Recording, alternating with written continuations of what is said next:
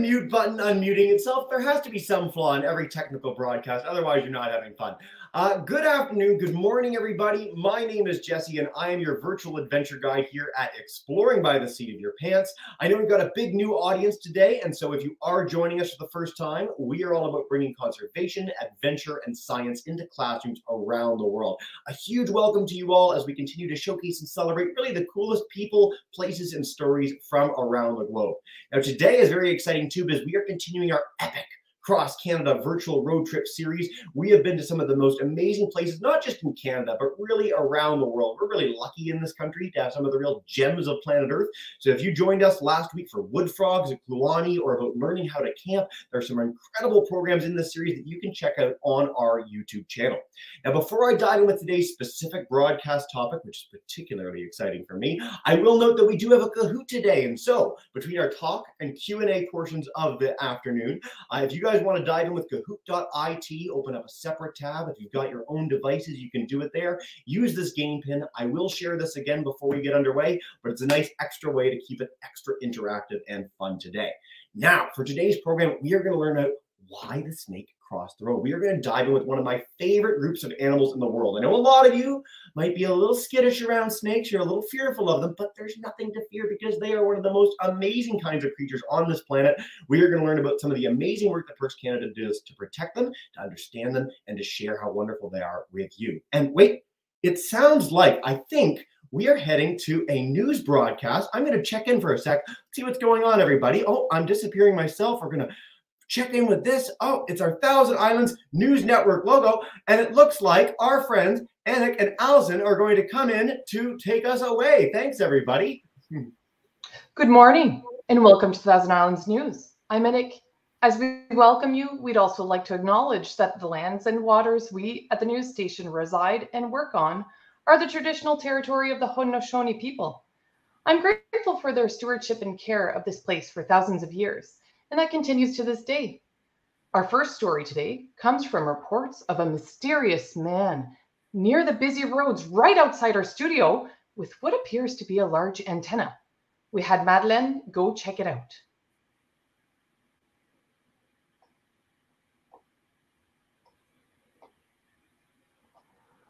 Thanks, Anik. I'm here near the 401 highway where we've seen this man in a Parks Canada uniform walk around with what looks like some kind of communication equipment. I'm going to approach him um, and see what he's up to. Hi, we received some reports that you've been walking around some strange equipment. Can I ask you what you're doing? Hi, sure. My name is Matt, and I'm a resource management officer with Thousand Islands National Park. Part of my job is looking for uh, wildlife and tracking their movements. Uh, so today I'm out here to track and find some of my uh, gray rat snake friends uh, with this radio tracking equipment. So as part of this research, I'm tracking five snakes uh, that have transmitters that let me know when I'm getting close to them. Ew, why would you want to track them? Well, gray rat snakes are actually amazing and elegant creatures. So they can measure two and a half meters to eight feet long. This is the longest snake in Canada. And they are called gentle giants, but I actually call these guys by their names Bandit, Bruiser, Houdini, but we can get into that later. So, uh, Thousand Islands, uh, Thousand Islands National Park is actually the only national park where they occur. So, we're trying to find out more information about them to, to better protect them. Could we show people what they look like? Yeah, absolutely. Wow, they sure are really big. Why would you want to learn about their movement and find their home? Why why is that important? Although gray rat snakes are really big, they are a species at risk. This means if we don't deal with the threats impacting snakes, we'll continue to lose these creatures, and this would have a big impact on uh, our environment here. So wildlife, including the rat snake, unfortunately have seen their habitats uh, fragmented or broken up, which puts them more at risk. Wow, that really gives a lot to think about. Well, since we're on the side of the road here, is that is that a threat to the snakes? Yeah, roads are something I really worry about for snakes. Uh, when snakes are moving to, to get food, protection from uh, predators, to find mates, they rely on their ecosystem to support them. And roads, unfortunately, cut off uh, that access um, and take away land that they depend on. But even worse, uh, they need to cross dangerous roadways and can be killed in the process. Sorry to interrupt. We have some breaking news. I'm getting reports that one of Matt's friends, Bandit, a gray rat snake Matt's tracking, has been spotted near the 401. Matt, what are you seeing? Oh no, Bandit, not again. Uh, I'm gonna use my equipment now and go find out where Bandit has ended up this time. Could we chat later? Yeah, absolutely. So it looks like I'll have to catch up with the team at Parks Canada, and we can find more about the story of Bandit, Bandit, and all the other gray rat snakes um, that live like in this area. I'm Maddie reporting from Thousand Islands National Park. Back to you. Welcome back, everyone, to Thousand Islands News Studio. Thanks, Maddie. It's good to know that there's a dedicated team out there looking for the species at risk, like the gray rat snakes. I know many viewers are aware of the dangers many different animals face while trying to cross a road. To follow up on this story, we have Allison from Parks Canada here to speak of the work with the with the snakes at Thousand Islands National Park. You may remember this earlier story where this man was wandering around with the antenna and other communications equipment. Well, as it turns out, that was Matt, a scientist tracking some snakes to learn more about them. To start off, we need to know whatever happened to Bandit. Thanks, Nick. Uh, I work closely with Matt on the Rat Snake project, and I have good news to report. Although Bandit was very close to the busy highway, he was found safe and sound. I actually have some video of Bandit at one of his favorite spots. Could we share it with your viewers? Uh, snakes really do scare me, but let's watch that video.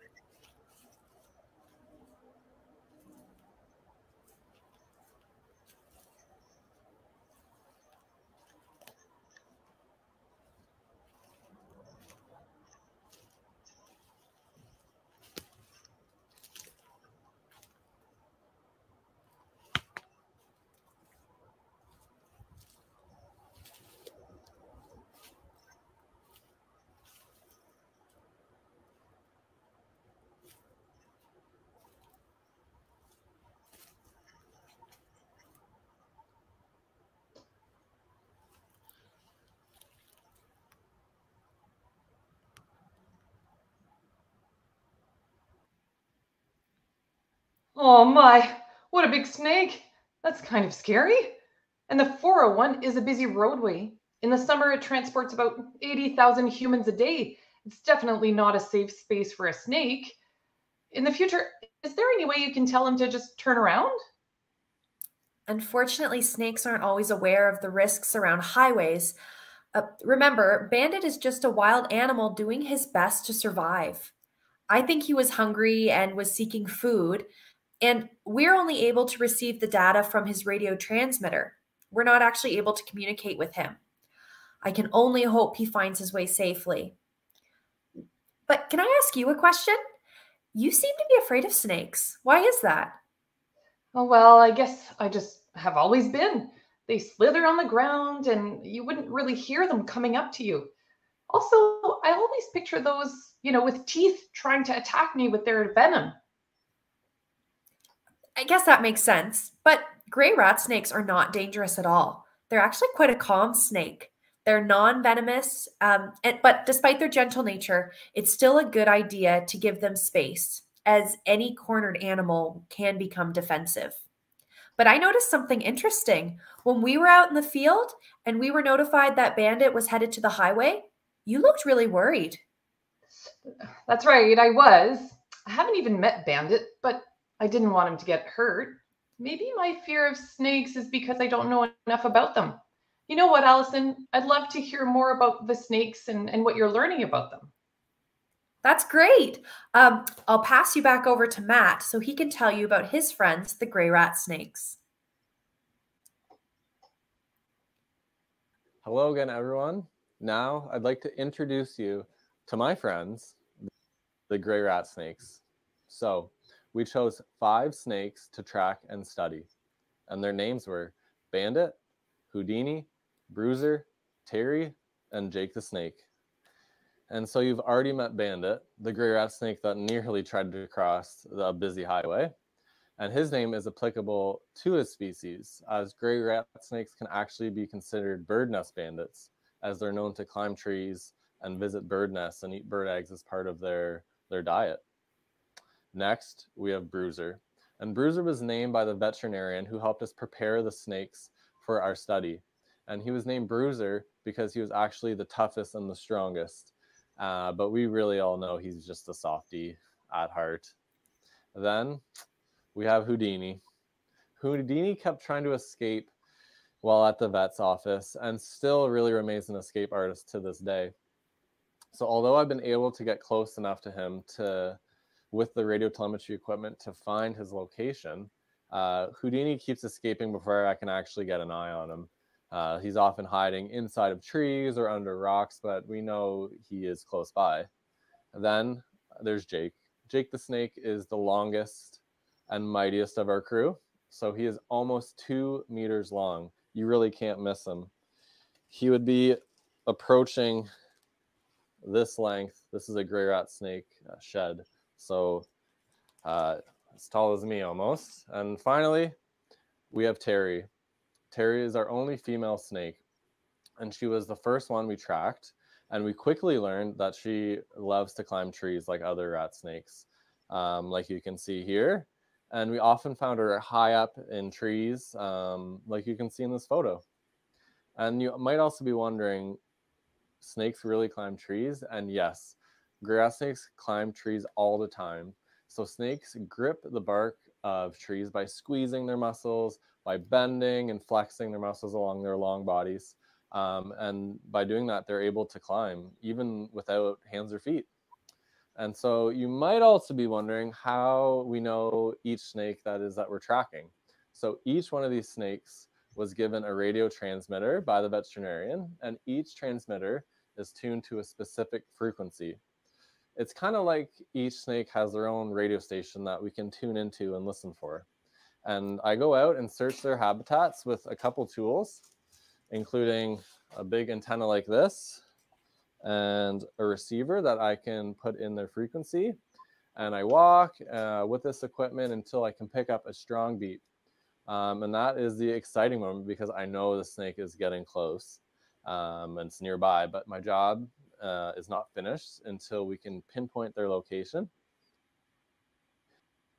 and find out where they are and this has been super cool to talk about, but I do have to go as the transmitters are calling. So uh, see you guys later. Thanks, Matt. That was really cool to get to know the snakes. Allison, can you remind me why you're tracking these giant snakes? We are trying to learn about the key habitats of the gray rat snakes and their movement in and near Thousand Islands National Park, where we work. This information will help us come up with a plan to better protect and connect their habitats, to make roads safer, and allow them to live life to the fullest. I guess what might be hard for people to understand is why snakes? Shouldn't they be able to protect themselves? These snakes are just out here trying to survive. They may be Canada's longest snake, but they can get hurt too. They face a lot of adversity, both in the natural environment as well as in areas where humans have added additional pressures. Unfortunately, they have lost a lot of their key habitats in Ontario. We talked earlier about um, roads, and they are a real danger. Also, unfortunately, some humans see them as a threat and try to harm them or eliminate them. Okay, so are these snakes mostly endangered because of us humans and the world we built around us? Humans have put a lot of pressure on them. Snakes are also slow growing creatures. Like other reptiles, such as turtles, snakes don't start having babies until they're quite old. So, if we are losing more adults due to things like roads, fewer in the population will be left to have babies, making the population decrease to a point where they are at risk of disappearing. You have asked me so many questions. May I ask you and your viewers a question? Sure.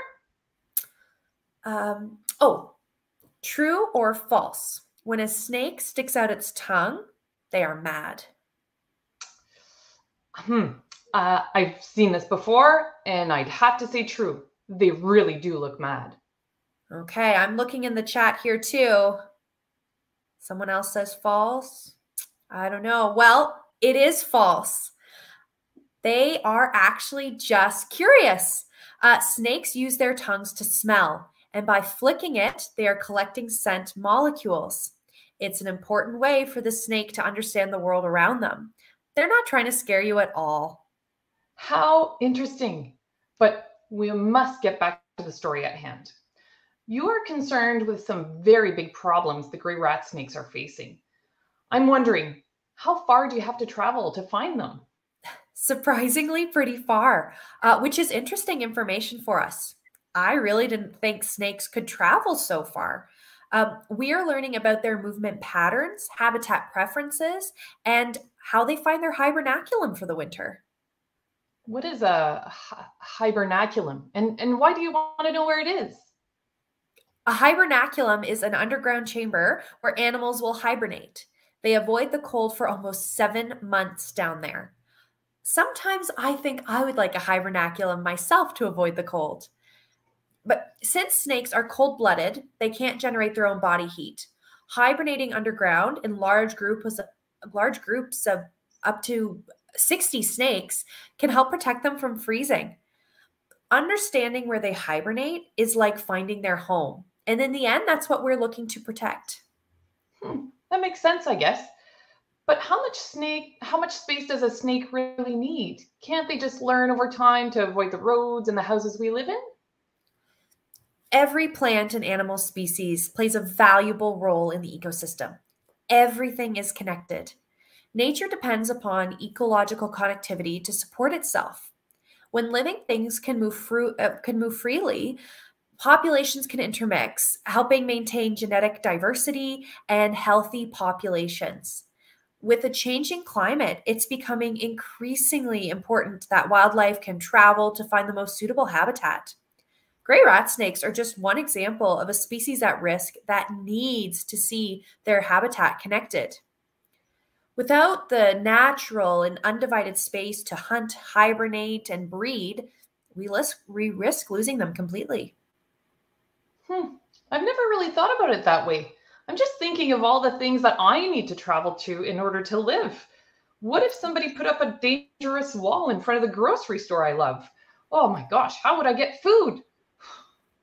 That's right. And for most wildlife, it's even more difficult. So, about this ecological connectivity thing, how can you achieve that with human needs for developing roads, building homes and schools, and so much more? It's a challenge for sure. Uh, the Thousand Islands are located in the Frontenac Arch, which are stepping stones that create a corridor for movement or migration between the Adirondacks and Algonquin Park. Parks Canada is working with partners along that network to improve the natural connection uh, of environments for uh, between these places for wildlife. You may not know this, but the Thousand Islands is an extremely unique and diverse region where we see many species with different needs living together.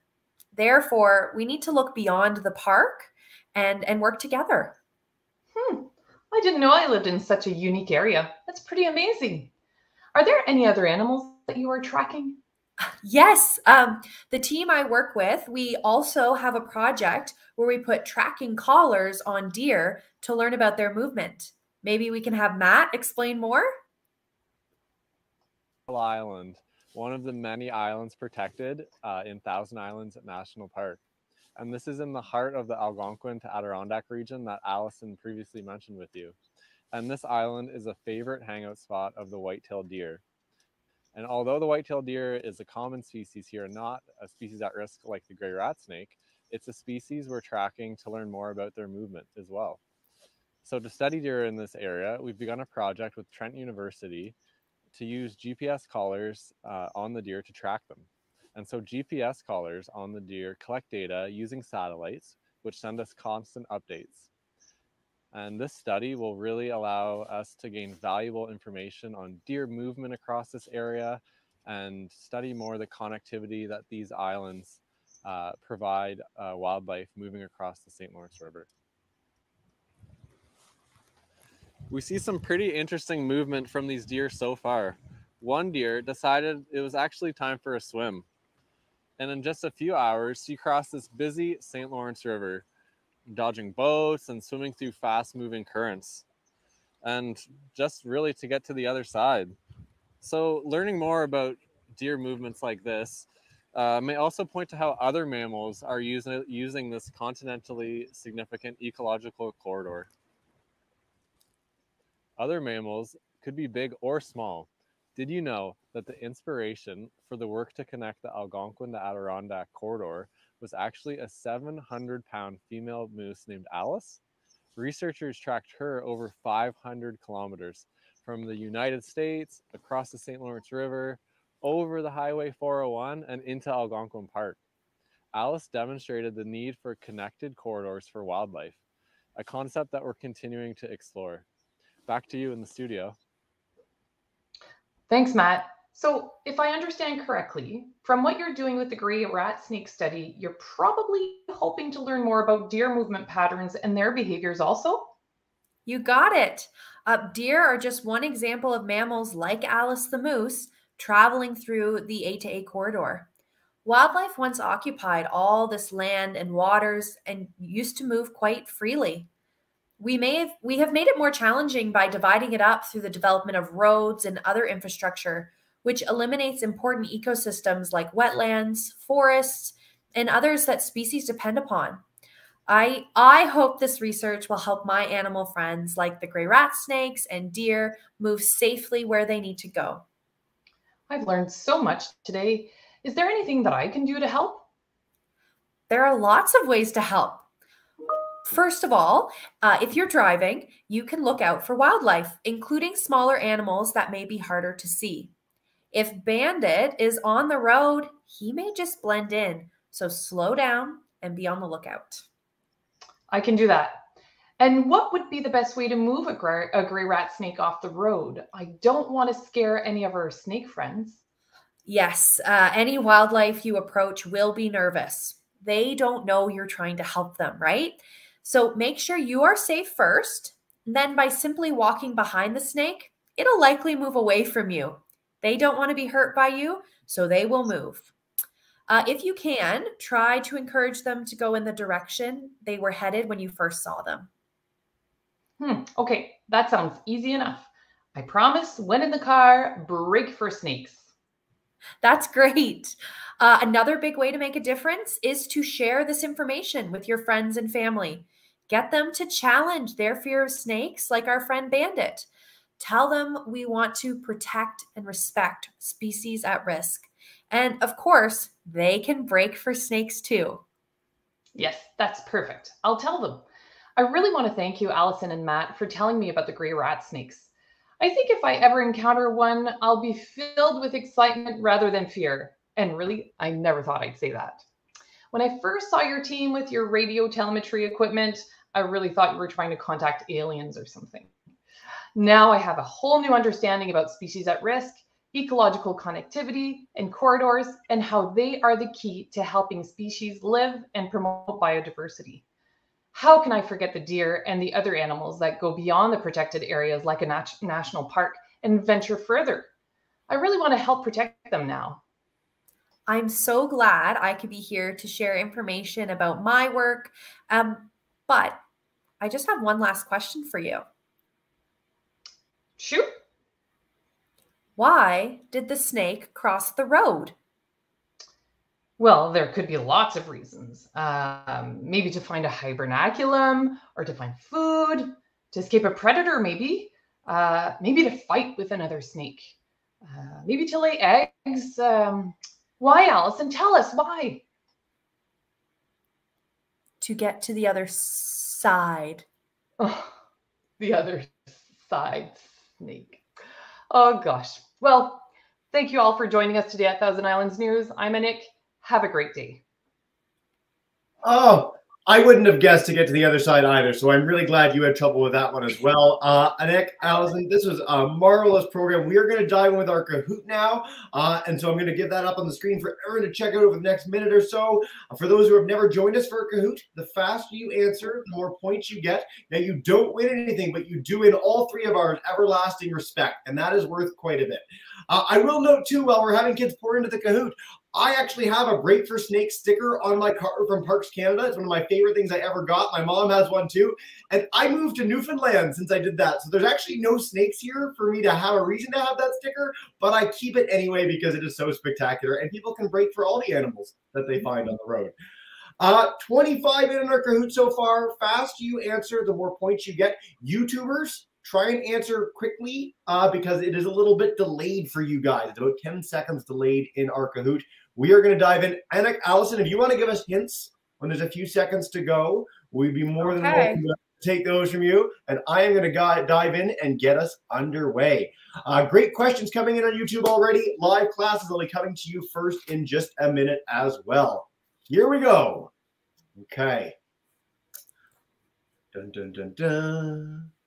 True or false? The gray rat snake is the longest snake in Canada. Hmm. Hmm, what do we think? Oh, half our answers in so far. True or false? We talked about this. This was definitely mentioned during the broadcast if you're paying attention. We don't have anacondas here, nor giant cobras, nothing like that. We're, we're a little too chilly for them. 70 of you in the Kahoot. This is amazing. Uh, 75 answers in. The answer is true. And most of you got that correct. They can be over two meters. Yes. Yeah, they can be up to two and a half.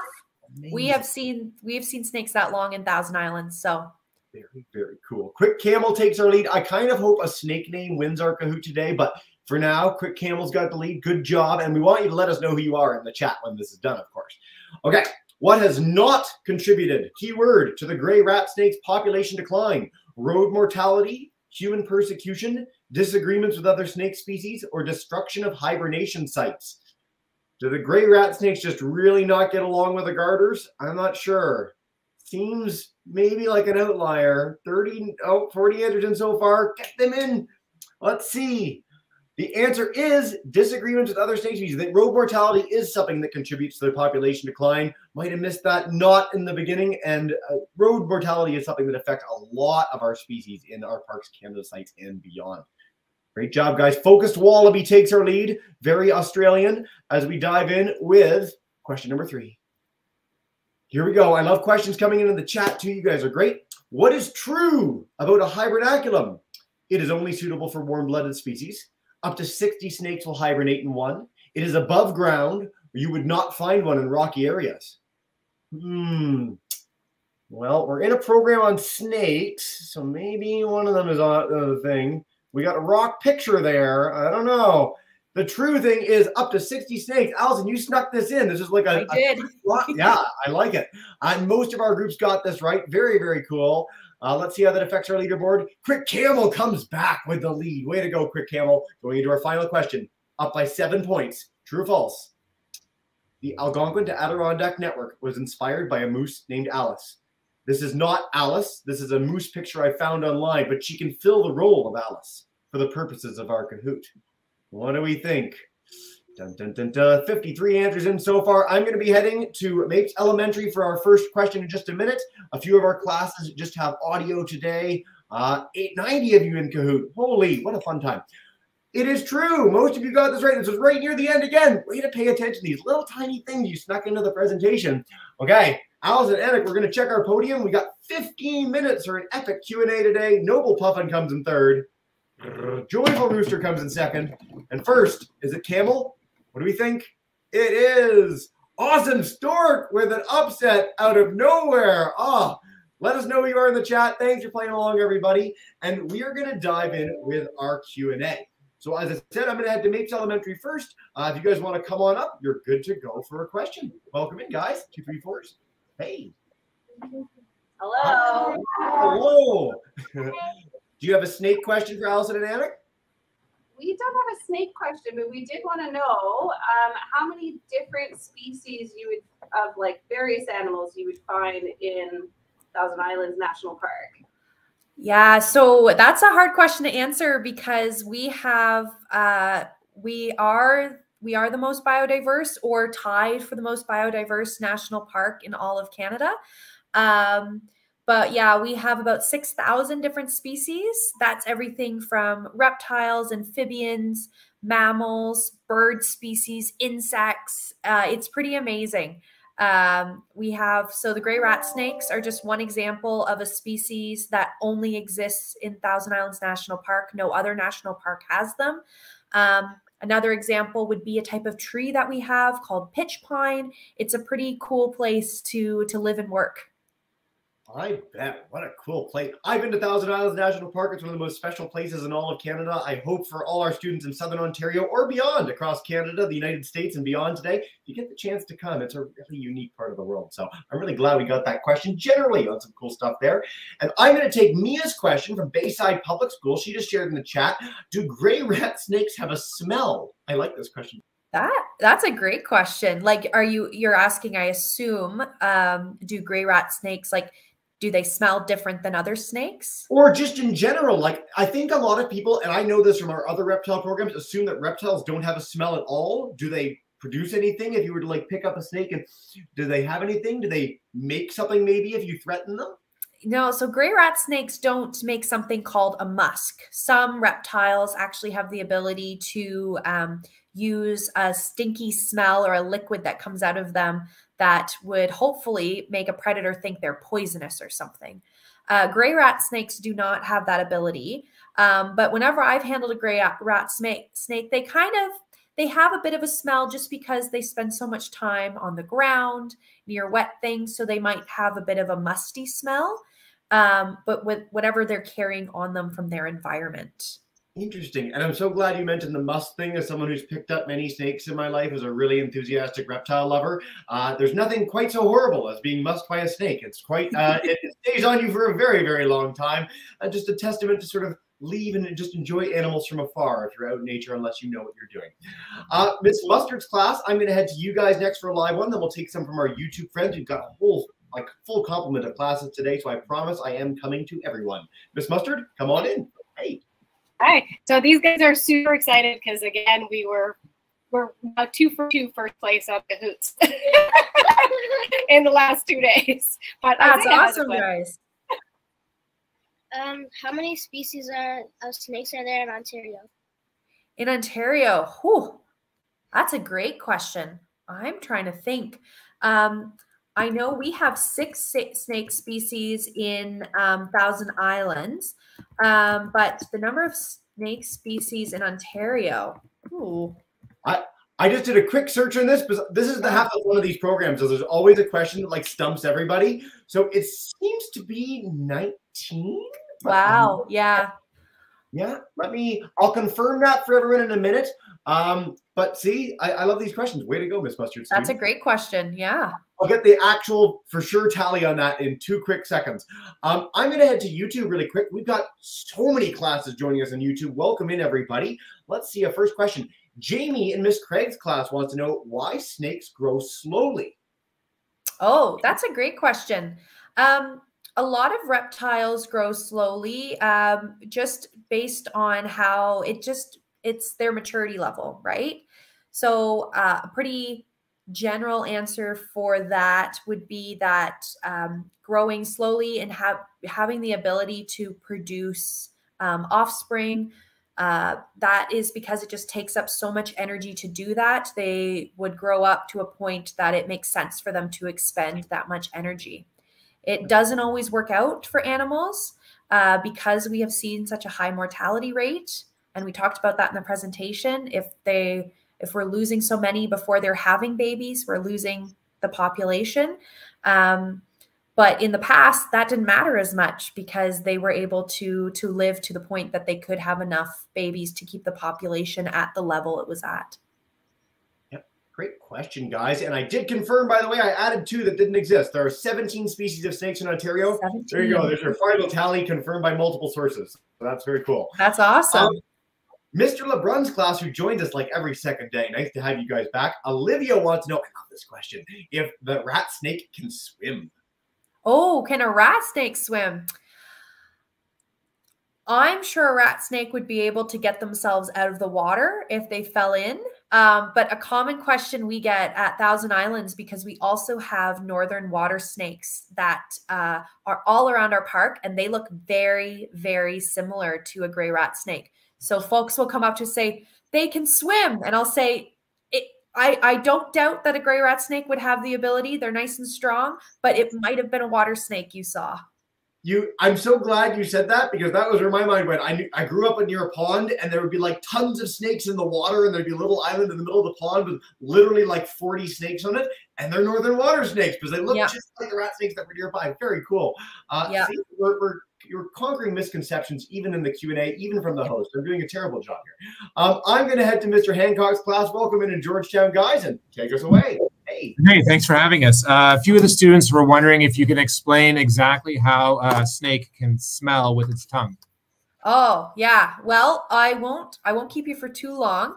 But so the snake's tongue actually has the ability to um, separate out the molecules uh, from a smell. So when we smell things as humans, um, what our body is doing is taking those molecules and the way that our body reacts to them, that is the different smells.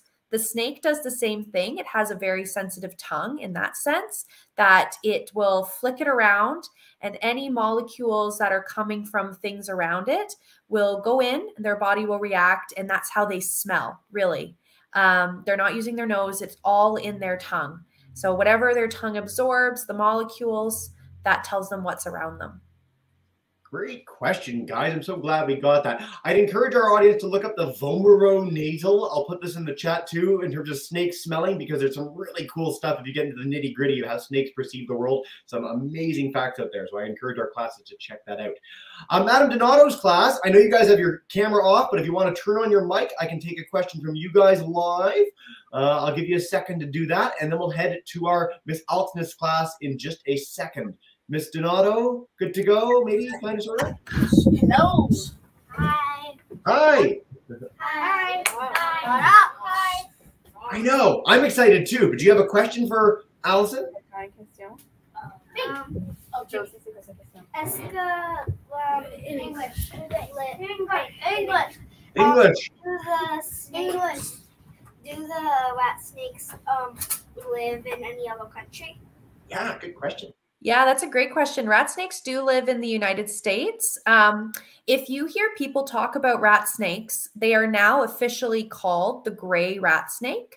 Um, they used to be called in Ontario a black rat snake. So maybe folks around Canada have heard the, the name black rat snake. There are gray and black rat snakes, but uh, the ones up in Ontario were renamed gray in about 2009 because they were distinct from the black rat snakes in the southern US. So, yes, rat snakes live in other countries, um, and there's a bunch of different types.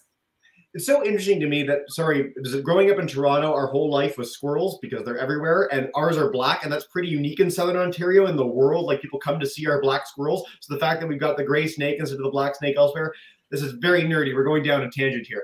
Um, I'm going to head to our Miss Alkness class, uh, Mr. Morton's class, two threes. Hi, everybody. Oh, that's how excited I am every time I hear about snakes too. I'm so glad you guys are equally keen. Do you have a question for uh, Allison? Uh, yes, we had a bunch. You do. I see that. in the chat. Say them on. Um, I think our number one question is what is the snake's skin like when they shed?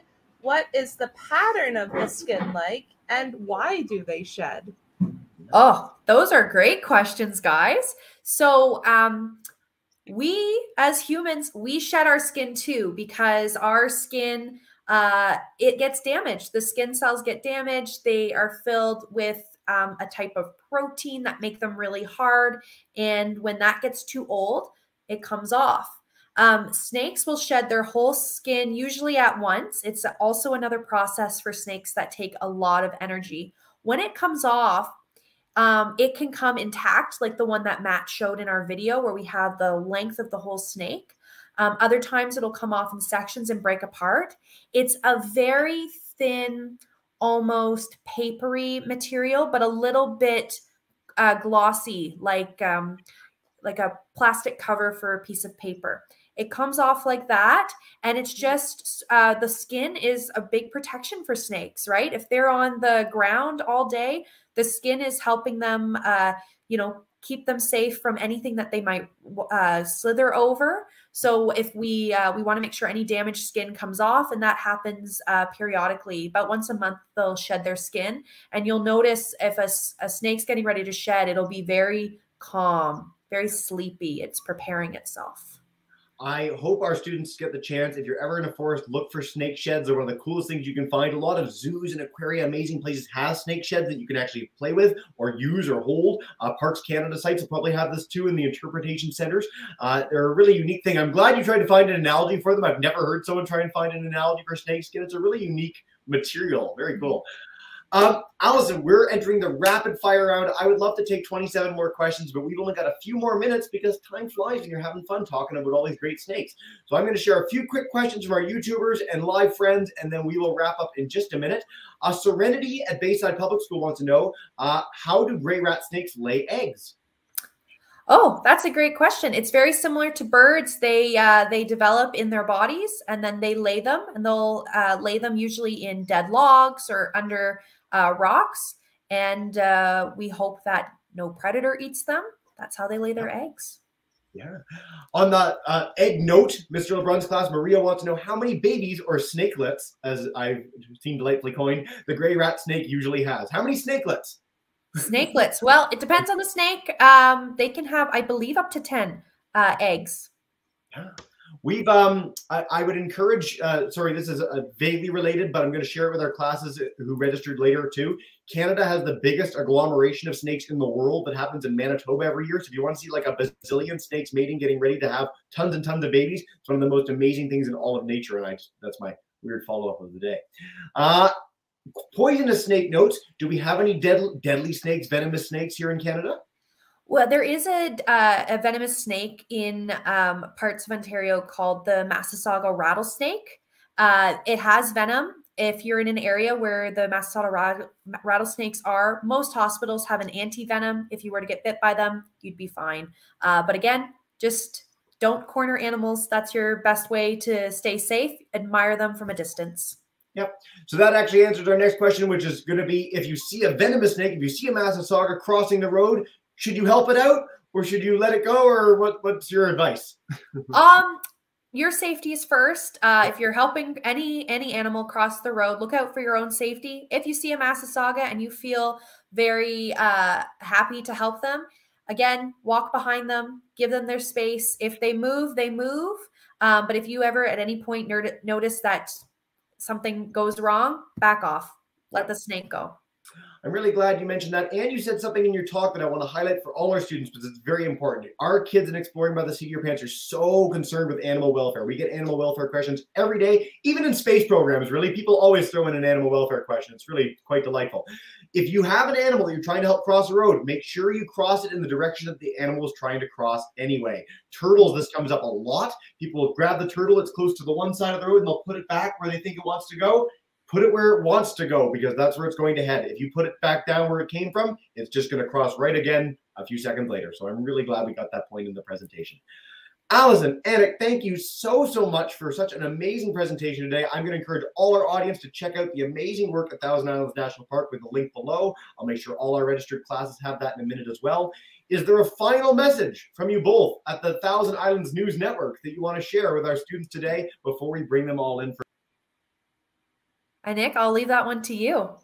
Oh, I'm just going to encourage the students to continue asking questions, go explore the natural world around you, and come and visit us at Parks Canada if you can this summer. Woohoo! I've got my camping ticket booked for Gros Morne here in Newfoundland. A little far for me to Thousand Islands, but I, I hope all our students get the chance to head out wherever you might be joining from. Uh, I'm going to bring in all our classes now. Mr. Donato, you can unmute your mic. Ms. Elskins and Ms. Morton, Mr. Hancock, Ms. Mustard, Mapes Elementary, thank you all so much for being here.